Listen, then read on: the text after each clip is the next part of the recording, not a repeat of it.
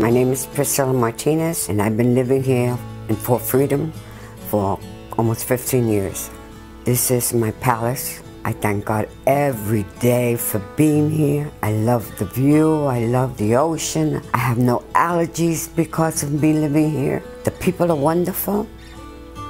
I am just blessed. I help people. I do errands for them, whoever needs me. This floor is absolutely wonderful.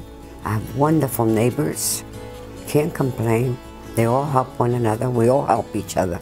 And like I said, I'm blessed. I wouldn't move from here if you pay me. This is affordable. I, uh, I have low income.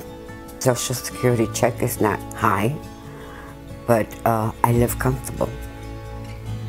I have enough to cover my expenses. The rent is just wonderful. If we're low income, under poverty, why can't we live where the rich live? I mean, as long as we know how to behave ourselves, you know, I'm blessed. I just feel like I'm in heaven. I'm one or two floors higher to get closer to the Lord. My kids would love to live here. My son comes to visit me. He says, Ma, you have it made. you live in a wonderful building because this building is immaculate.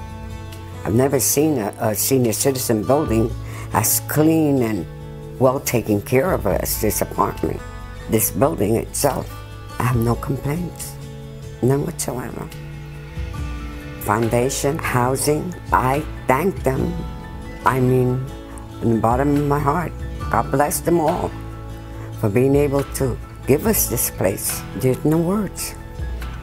I mean, I can't be more gratified, more blessed being here. I wouldn't go anywhere else, even if I hit the lotto.